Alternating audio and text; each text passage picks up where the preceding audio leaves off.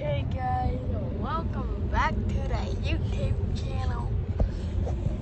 Today we're driving back from Gunnison. Tell them where we just came from. The cabin!